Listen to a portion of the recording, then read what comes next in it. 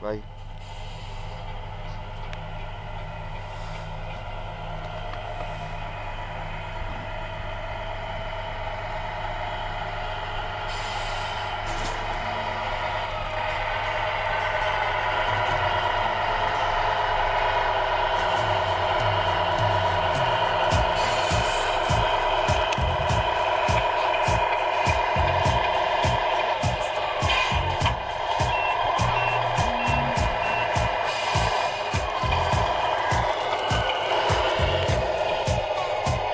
Thank you.